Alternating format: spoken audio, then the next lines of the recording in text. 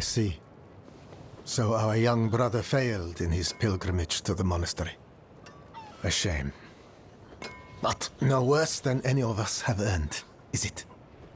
Death of fang and claw, of freezing, of the pyre. Our sinful bodies deserve no better.